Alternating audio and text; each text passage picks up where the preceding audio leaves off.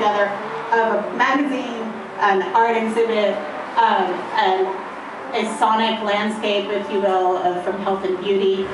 And altogether, it sort of creates this other thing, this aberration of uh, here on Hollywood Boulevard, where is if you go out there tonight, you will find all sorts of other aberrations. um, and I'm also thinking in this like the space between reflections and things like in betweens. Um, that this might also be a mirror of um, a mirroring of the global protest movements that are going on um, and actually are talked about in the issue, um, where dominant media uh, is sort of disrupted um, with secondary media, and we're sort of in a you know secondary media platform right now. And, um, and then public space, which of which this is a sort of a semi-public space along a very strange public space um, Hollywood Boulevard, is, um, is, a, is a place of protest. And a spot, and I also was reading um, Ethel Baraona Pohl's piece on Jürgen Mayer's Parasol, which takes a very form-driven object and sort of transforms it into a place of protest. And it made me think that there's a spot that doesn't necessarily follow function, but where the formal sort of allows for aberrant occupations to happen. And then Michael Chen in the issue also discusses Occupy Wall Street as a network of ur uh, an urban network manifestation, sort of a coming together of weak ties. And in a way, this is a coming together of many weak ties which sort of form a strong bonds in the end. Um, maybe only like polymers, kind of like the styrofoam that's holding together our installation tonight. Um, so I'm really excited to have sort of all these weak ties and strong ties and you know sort of things coming together here at WUHO tonight. And I'm hoping that this becomes the beginning of many ties to sort of happen from this event and, and sort of move out sort of into the future. So tonight we have uh, three performances. Uh, we have Iker Gil, who is the editor of MAS Context. He's an architect and urban designer, and he's also the director of MAS Studio.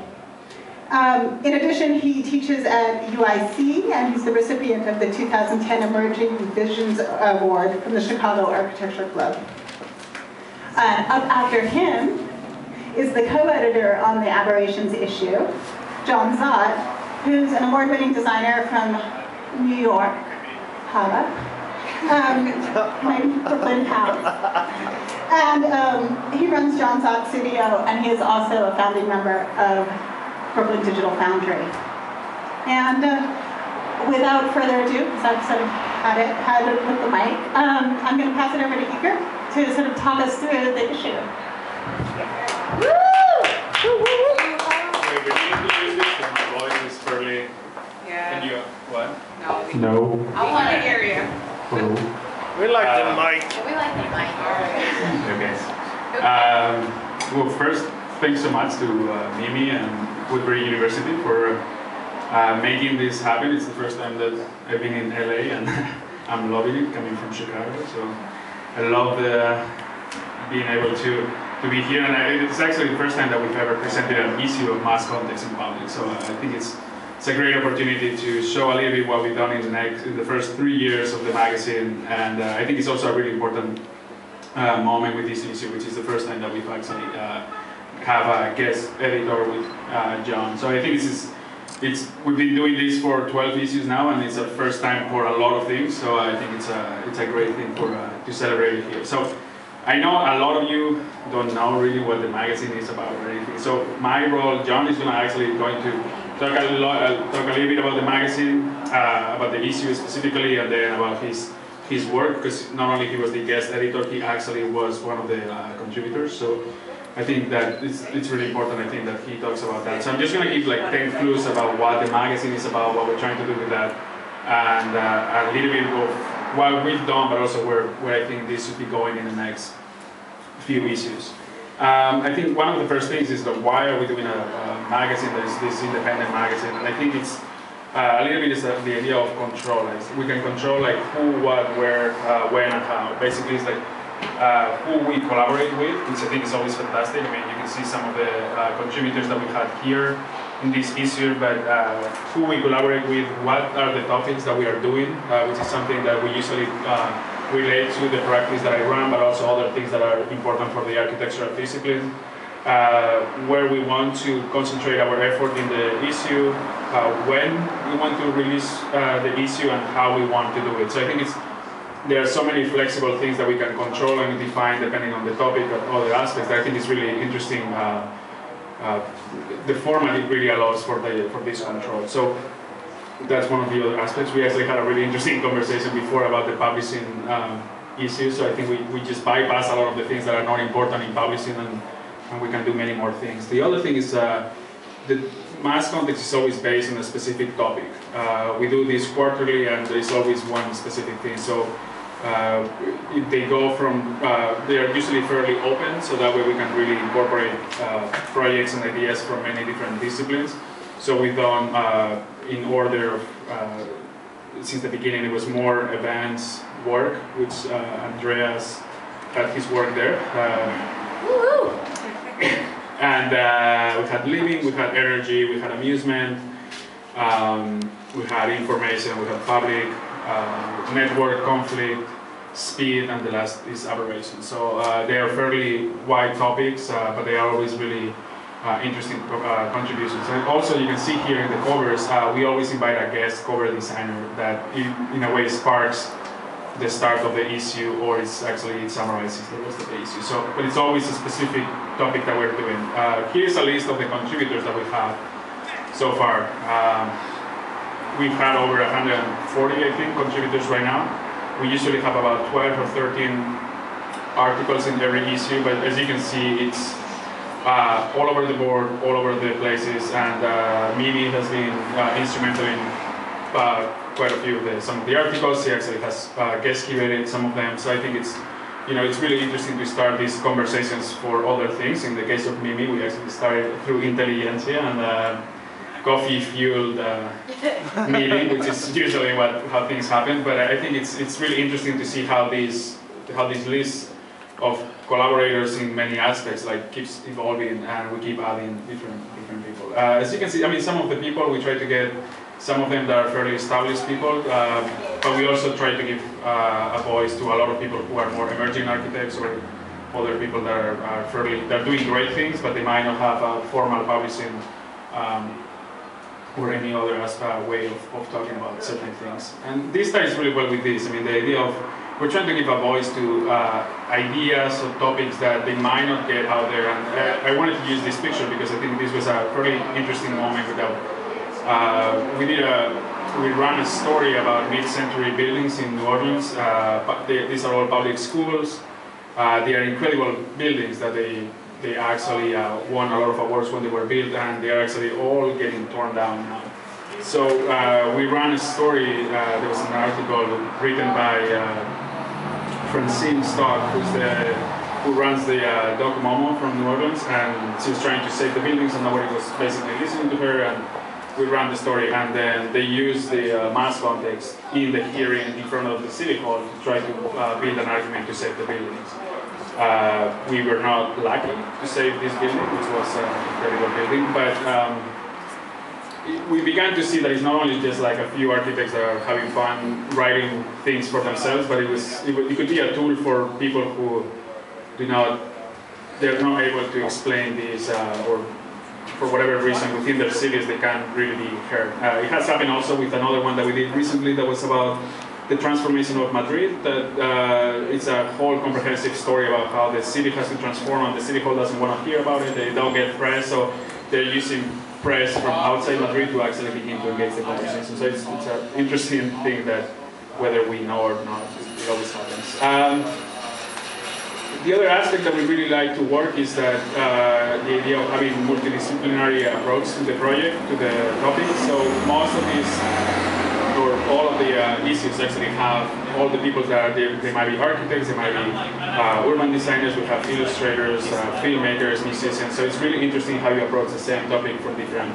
perspectives. And even in the case of this image, which is by Luis Urculo, who's the architect who did the cover, he actually himself, he works in uh, video format, he works in, uh, he actually designs buildings, he, does, he illustrates, so he's working in many platforms, which is really interesting. So I think we always want to bridge that and make people uh, do articles like photographers with essays or illustrators to, to work together and one influence the other. So that, that was something that was important from the beginning that uh, in my case I'm really interested in photography and graphic design and that had always to be something that was present in the, in the magazine.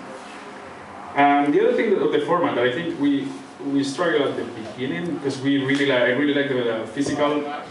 Um, you can see here one of the other ones. Uh, I like the physical format of a magazine; it's fantastic, but it also has a certain uh, cost associated with it, but also like the way it can reach to other people. So.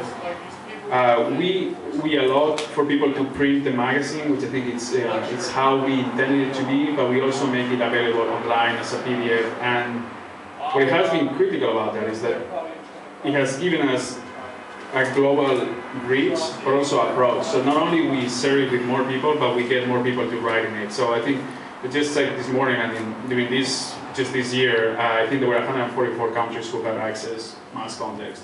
So it's a we don't do this in a way to just say, well, look at how many people we've reached, but also like how many people we can get feedback and contribute. So I think it's a a really interesting. I mean, you can see that most of it, uh, I think I have a list here, I think by order, is the US, Spain, UK, Brazil, Italy, Canada, Australia, Germany, France, and Mexico.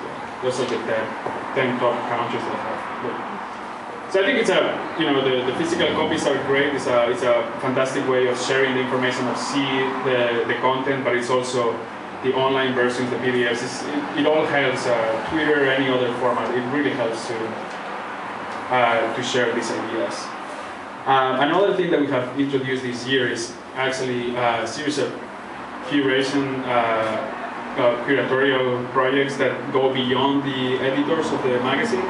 And there are two ways that we have done that. One is looking back at all the content that has been produced. And for example, Mimi uh, was the first one that started this segment, but people who look at the content that has been produced and then they, they create another topic that relates they relate these articles that were happening across the first three years. So that was one of the segments. I was looking back at what has been produced, and then with John, we really started the other version, which is saying we're going to collaborate with other people that helps us move uh, into new issues, new topics. So I think it's a really interesting to see is like how you can reframe all the conversation that has been already generated, but at the same time begin to create other new ones. So, uh, and I think in this case, I mean, with John was was it was fantastic to be able to push the, the magazine really into an issue that uh, it was fascinating, but maybe we, we probably wouldn't have even uh, had the guts to uh, address. Uh, so that was that was really good. So, and this is also uh, there's been a lot of changes in the in this last year, which are for, for good. And, and I think this is another one that we see the magazine as a as a platform to share really great ideas and content, but it's a starting point to do other things. So uh, we started to do this event that we are hoping to do a yearly event about this, uh, which was a whole day of presentations by, uh, as you can read there, emerging and established practitioners within the field of design. And there were 16 presenters, with John was there, and there were graphic designers, there were photographers, there were architects. They all did presentations around certain topics. It was communication, collaboration, uh, documentation, and speculation. So again, there was like based on themes, but everybody was presenting and they were cross-referencing disciplines. Uh, there was a bookstore, the design bookstore in, uh, in the same space, and then there were two exhibitions there. So uh, we really wanted to take the same ideas of collaboration and how do you team with disciplines and topics and take it something physical in Chicago that can start that conversation. So the virtual and the, the real really related. And in the end, what we are basically doing this is all to just spark that discussion about design, the possibilities, and these are just some images about that event. Um, and it was a 12-hour event. I mean, it was just uh, there was a lot of things going on, and uh, but I think we ended up like there was hundred people in the end. Still, I mean, it was really interesting uh, event. So what we try to do is like through the events, through the magazine, uh, generate discussions, and then they, they take their own life, and then they get come back to us and we get some feedback and then we keep going with this. So um, I think uh, having an event like here with John and I, I think this is going to take the uh, the next issue to another another situation. So anyway, that's a little bit of like MAS Context in 10 points. Um, I hope now you everybody just downloads and all those things. But uh, so I'm going to pass the micro to John, who's actually going to talk about the, this collaboration that uh, started about six months ago. It was uh, long. It was when there was sun in Chicago and it was warm. Uh, but and uh, and I think it's been a, as I said, it's been a fantastic uh, relationship. I think it's. It, I, I'm a big fan of John's work, and uh, I thought it was fantastic to bring his take. And so he's going to show a little bit what he did with the issue and his work.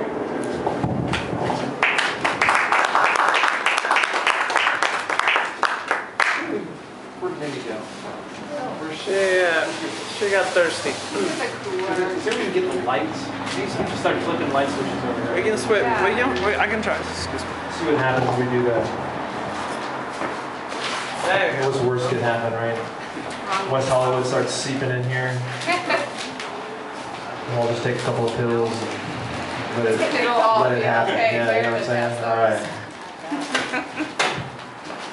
Did I just say well? That's not good. It's cool. Thank you. I think Not that's too cool. bad. I tried, John. Really? Alright, I got my cup. So what we really want to do is we want to get these lights Yeah, here. I don't think No. Well done.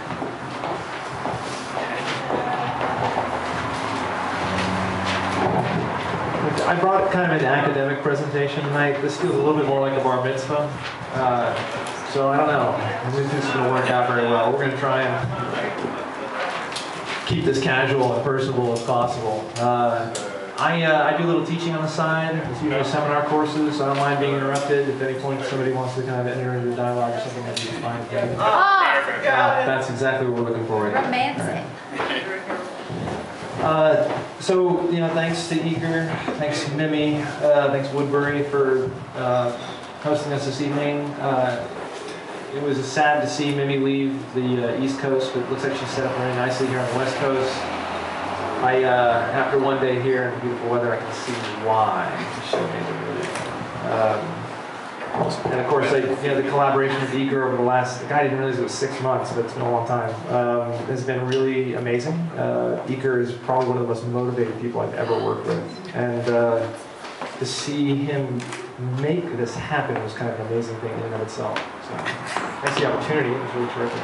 Um, uh, the issue, uh, as Iker mentioned, I uh, was going to talk a little bit about what we're trying to accomplish with this particular issue. Uh, it, uh, it was organized by uh, and myself after a series of emails and phone conversations. We spent trying to pin down a rather slippery idea, which at its heart is a kind of paradox. We wanted to collect ideas that were coming from outside an orthodox architectural practice, or, well, design practice, really, just because of the multidisciplinary nature of this endeavor, uh, to enrich the proposals which they were dealing with. And that in and of itself is a rather diffuse proposal. Um, in a way, what I just described is, is a kind of natural process of innovation. Um, ideas, they're unorthodox coming and infusing and enriching the process in which they were uh, uh, tangentially a part of. But innovation implies a kind of quantifiable progress along the performative vector. And this is not really what we were interested in. We were, we were in pursuit of something that operates on the oblique the kinds of responsibilities and standards of achievement that a designer or an artist typically assumes and aspires to. Uh, now, what we sought were, were not innovative ideas, but rather pathological ones. And this is a kind of general way of talking about it. And it simplifies a rather complex problem, so it doesn't capture all of the nuance of some of the things that we were talking, we wanted to uh, accomplish. But it is a convenient way of describing it. Uh, these were ideas that had the capacity to, to compromise a building or a project, uh, to dismantle the conventions that define what a building is supposed to do or what a meaningful experience is supposed to be comprised of. And this call in and of itself is rather vague because it's built on another supposition, which is, and here I'm going to get a little more explicitly architectural, uh, what exactly is a building supposed to do? or be for that matter, which is a fun question in architecture schools. It gets bounced around quite a bit, and nobody seems to have a really good answer. Uh, it's funny, I think you probably find better answers within the kind of uh, um, the non-technical crowd, that is, those that don't have a formal background in architecture. Uh, but those of us that work very closely with them are always a little bit confounded by this question. And of course, these questions became opportunities for the issue. Uh, you know, in the pieces that we collected, uh, we saw definitions for buildings emerge from, from a kind of uh, the dialectical arguments that they presented, telling us some of the things that the building isn't, but what it might be. Now, in all fairness, like these ideas emerged after the fact. We had to start the issue somewhere. So we chose practicality as the overarching convention. And ideas that challenged practicality in pursuit of an unorthodox experience became our object.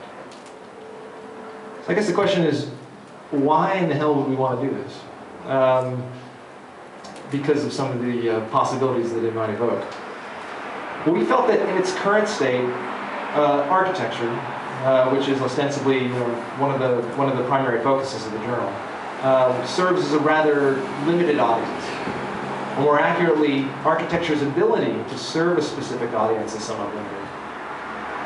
And although the range of clients that architects serve uh, that serves varies widely on several different dimensions, architectural support is too encumbered by societal obligations to embrace many of the methods of provocation that have led great, they have, I'm sorry, let me try it again.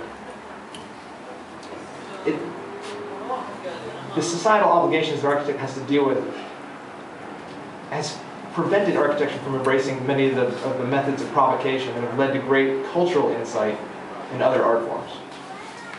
So, what kind of future are we talking about then for architecture if we're trying to close this gap? And there are a few enticing dynamics that we might start to tease out. So this is where we start to talk a little bit about, about some of the work that my studio has been doing uh, as, a, as part of the foundation for where the, uh, the issue is going, but also as an introduction to my, my personal contribution to the issue. Uh, and these have been slides here, some of the um, uh, title uh, pages from some of the issues, that, that, some of the content you'd find in the current issue, which have been, uh, uh, there's a really amazing bouquet of totally ridiculous and exciting ideas for what a building might be, or what a, what a design practice might embrace. You know, in and out of architecture, kind of swerving and touching on many different things. So, what is it that what what is it that we might accomplish through closing this gap? Well, uh, there are a couple of points that a couple of things that might come of this endeavor. Uh, first, it might be about transcendence. Right, this is Gordon Matta Clark's Splitting from 1974. Uh, and uh, uh, some of you might know his work uh, as a seminal, uh, I'm sorry, uh, an important artist for you know, some of the institute type work that emerged from that period of art history. Um, here, moments of violence or duress or destruction can bring change, and in some cases, greater understanding. So when, when Matta Clark cuts a building, or more accurately, he shows us the, the photos that he snapped of a building that he had cut. The figural presence of the slice transforms the reading of the building. It's no longer possible to see an assemblage of construction materials. It's been reduced to two like hunks of house. And ironically, this act of destruction has answered the difficult question, what is a building, by virtue of the clarity of the gesture. So now it stands before us as a profound ruin. And this is an example how pathological activity elucidates the concept of building. It, it, if you will, it intensifies a building's buildingness. Uh, it could be about presence. Uh, there are many instances of pathological activity that present overpowering ideas that are captivating in their grotesqueness, or like in this case, their obsessive relentlessness. Uh, ideas like these attract us from outside the conventional definitions of beautiful because you know, they're poetic and they're resonant, but often repugnantly so. But no matter how they're characterized, they're undeniable in the way that they command our attention and inspire contemplation. Uh, it's a little bit about specificity. Uh, this is something that almost anything manufactured exhibits after some use, and in the case of buildings, specificity uh, you know, it goes beyond material effects that come with exposure to the environment or users, legitimate or otherwise. Uh, the kind of specificity that they exhibit also organizes context. Uh, and the way that we orient ourselves. The way we navigate urban landscapes can be facilitated through this process, and its effects serve to bond the buildings with their history and context. Uh, this is a process that's automatic and unpredictable, and uh, those are two aspects that make this, uh, this phenomenon all the more valuable. And then there's the question of eccentricity. Uh, now this is related to specificity. It's brought on by environmental forces like vandalism and dilapidation, but eccentricity comes from modifications that happen through patterns of legitimate use. So it usually brings a casual sensibility to bear on the places we encounter, and it almost always tells us a very intimate story. So, you know, back at the studio, like this is a lot to deal with. And to open up this can of worms every time we want to talk about these things is obviously a little bit inconvenient. We had to find a shorthand for talking about it. And one of the ways we describe it is uh, uh, some, we, we call these things archipathological. Uh, and we consider the topic in general as something artificial pathology. I know, I know, I know. But actually, these kind of large words, it's a little easier to kind of like uh, uh, throw these around than it is to kind of carry all the legacy or the, the, the baggage of the ideas I described a moment ago. Um, now, there are two interesting aspects to, to the subject. And first, uh, phenomena exist outside the bounds of an architectural practice. What you have to understand is that these things are defined through the conflict uh, with what I'll call art, the architectural ambitions of the building. That's to say that the intended purpose behind their product, conscious coordination of these things, will destroy them, or at least compromise what they are, uh, some fundamental uh, aspect of their being. And the second is that they can be defined as uh, pernicious at some level, but uh, be that level simply aesthetic or because they're impractical. Despite those things, they are not experientially bankrupt. And that's their core attraction for us, is that, you know, when you consider these two points together, you have a range of design ideas that represent a unique cultural perspective but is without representation in the field of architecture. And that's what we want to do is we want to, we want to bring that last kind of blind spot or eliminate it within the things that we do as far as building design is concerned. Now, it's important to recognize this isn't exactly a new idea. All the other creative disciplines have been doing this for a long time. They've embraced pathological themes with great success. And architecture hasn't for obvious reasons, and it holds itself accountable to society. So we can't afford to adopt practices that might compromise the values that are held in the majority. So, okay. So let's talk about buildings. Um, what I'm going to do here is uh, uh, describe this uh, process uh, that we started about 18 months ago, um, where we started to develop three projects that are meant to elucidate the, um, the ideas within the rhetoric that I just presented.